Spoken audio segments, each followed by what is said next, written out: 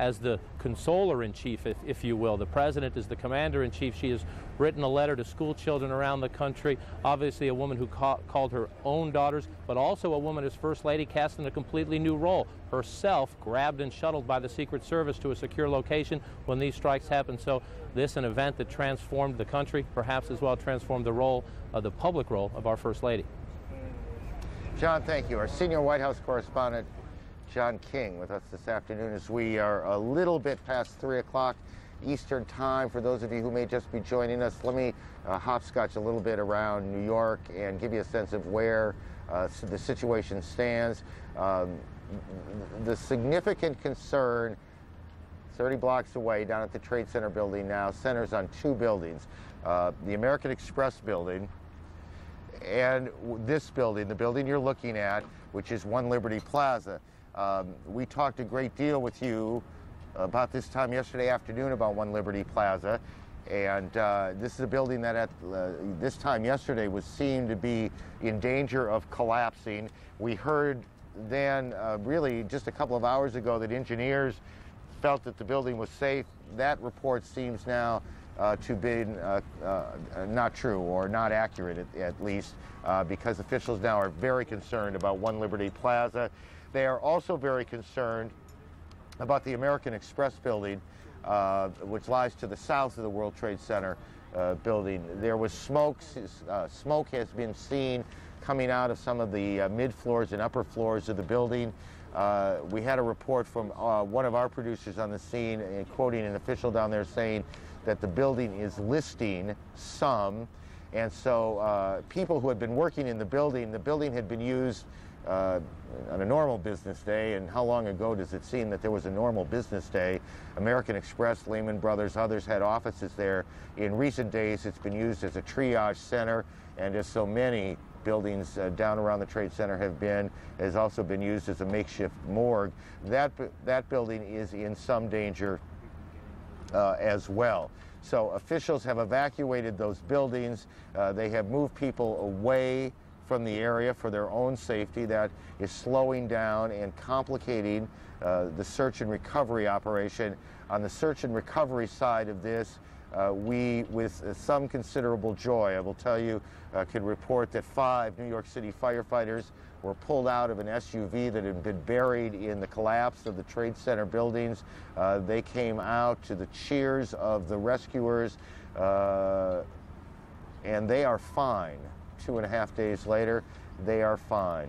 So that here in New York is where we are. We watch these buildings, and we hope for more good news out of the rescue site. Judy Woodruff joins us now in Washington. Judy, good afternoon. Good afternoon, Aaron. Uh, I have to say, all of us in Washington have, of course, been watching uh, the coverage, uh, celebrating uh, even even the lives of five people. Uh, is something to celebrate, uh, given the, the grim stories all the way around. And Aaron, I know you're watching very, very closely what's happening with those buildings in, in lower Manhattan. And of course, we'll come back to you as soon as there are more developments. But we want to bring you up to date now on, uh, on the investigations uh, which are proceeding apace. Uh, CNN's justice correspondent Kelli Arena uh, has been reporting for us all day long on the progress that's been made. And Kelli, uh, we know that now they're talking about uh, 18 hijackers having been involved. Tell us uh, what you've been able to learn about that. That's right, Judy. Uh, FBI Director Robert Mueller and the Attorney General John Ashcroft said that they have identified at least 18 hijackers. Now, this isn't a guess here. They say that they have uh, names and information on 18. Uh, Justice is considering whether or not to release a list of, of names to the public. That decision has not yet been made. Uh, they did break down for us, though, uh, how many hijackers were on each plane, and we can we can show you that. Uh, United Flight 175, which uh, crashed into the World Trade Center, had five hijackers, as did American Flight 11, um, which crashed into the World Trade Center. Both of those had five on board. United Flight 93, which crashed in Pennsylvania, had four hijackers. And American Flight 77, which crashed into the Pentagon, also had four hijackers. Now, unless intelligence uh, proves otherwise, uh, 18 is the working number right now. Uh, it is not completely solid, though. Things things are in flux very much right now. Um, Attorney General John Ashcroft also saying that all of those hijackers, Judy, were ticketed passengers. Now, Kelli, it, it, presumably, clearly, the hijackers themselves are dead. Uh, so the focus is on the people who were working with them, right? That's right, on finding associates. And the FBI um, has fanned out across the country trying to link the threads together, trying to find family members or friends or associates that could take them back to identifying. Um, operating terrorist cells within the United States or outside the United States to possibly uh, get a handle on um, who may be offering financial backing or to find if there's any link uh, between uh, these, these hijackers and a larger terrorist organization. Uh, the FBI has questioned uh, many people. Some of those have been detained, Judy, and, and let me be clear on that point. No one has been arrested at all in direct connection with terrorist attacks, but there have been some people detained because as the FBI tracks people down, they find out that they're in, in violation of uh, immigration laws, for example, and so they're detained for that reason. Um, there have been uh, several who have been arrested because they were wanted on other state and local charges. Um, but there has been some confusion out there uh, with you know FBI having people in custody uh, directly connected with this. That is not the case just yet. The FBI says it's, it is pursuing thousands of leads at this point. So, Kelli, where does the investigation go from here? Do they simply just pursue these leads? You describe them as thousands, one by one by one, or do they, or do they have sort of an overarching sense of where they go from here? Well, uh, right now, you know, this is a very early stage of this investigation. Uh, the, the FBI is, is pursuing many avenues, search warrants, subpoenas, so on first we heard that they had 8,000 uh, personnel working, 4,000 agents, 3,000 support staff, and then not to mention you know, nearly 1,000 working in FBI labs. We are now told today that that, uh, that number has increased. In fact, there are 20 uh, overseas FBI offices that are now directly involved in this investigation. We did hear earlier from FBI Director Robert Mueller, who explained some of the investigative tactics that the FBI was using throughout the country. Uh, when we receive leads, uh, we have followed those leads. We are interviewing any number of people across the country. The number of special, uh, the number of FBI officers that are involved in the investigation, directly involved in the investigation, has expanded, and they are uh, interviewing witnesses.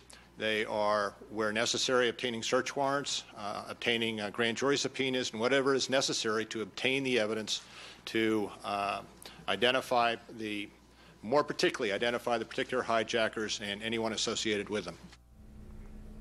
Now, Judy, what could provide even more help uh, would be the black boxes. None of those have been retrieved yet, but today uh, we did hear that the, the one that was most likely to be retrieved is, is the, the flight that did crash in Pennsylvania because it is the only one that went directly into the ground rather than into a building, and investigators actually have access to that, that crime scene. Back to you. All right, Kelli Arena, who's been following uh, this investigation uh, uh, for the last several days, uh, ever since uh, these uh, incidents took place on Tuesday morning. And now we want to go to the White House, to our senior White House correspondent, John King, for an update on what President Bush has been doing today. John, we know the president today dealing both with his own emotions and also proclaiming that America will will uh, be victorious through all of this. We're seeing, that's right, Judy, we're seeing many sides of the president on this day, even just in the past, in the past several hours. And you may see cars pulling in the driveway behind me now, that part of the president's role as well. Members of the Virginia and New York delegations, obviously the two states most affected by this tragic terrorist strikes, now here at the White House to meet with the president and other administration officials on the ongoing relief, recovery, and rebuilding efforts, as well as to get an update on the status of the investigation. Now, the president will also meet later today with his national security team yet again. CNN told by senior administration sources that increasingly those conversations turning to potential, emphasis on potential U.S. military responses to these strikes as the investigation, as Kelli Arena just updated us on, continues. And as part of that, a broad effort by the entire administration to build an international coalition of support. And as part of that, some interesting developments just in the past hour or so. We know Secretary of State Colin Powell spoke earlier today to the Pakistani President General Pervez Musharraf Mr. Powell presenting a specific list, we are told, of what the United States wants in cooperation from the Pakistani government. Now, Pakistan is a neighbor of Afghanistan, the home of the suspected terrorist Osama bin Laden. Pakistan, one of the few governments that recognizes the Taliban as the government of Afghanistan. After that conversation, the State Department said it was a favorable conversation, and CNN just moments ago received a statement from President Musharraf, General Musharraf, saying, quote, Pakistan is committing all of its resources in an effort coordinated with the United States to locate and punish those involved in these horrific acts. Now, the Bush administration saying it wants to put that promise to the test, but that could be a significant development in the diplomatic effort here and in the investigation as well, as the U.S. government believes the Pakistani government has quite a bit of information about the operations of the bin Laden network. Now, the president discussed all this earlier today, a telephone call placed to the governor of New York and the New York City mayor to offer them more federal support in the ongoing relief effort up there. The president also then turning, looking toward the investigation. He called this the first war of the 21st century, and Mr. Bush said, make no mistake about it, the United States would react with resolve. Now's the time for the country to be united, and uh, um, you know, through the tears of sadness, I see an opportunity. You know, make no mistake about it, this nation is sad. But we're also tough and resolute. And now's an opportunity to do uh, generations a favor by coming together and whipping terrorism, hunting it down, finding it, and holding them accountable.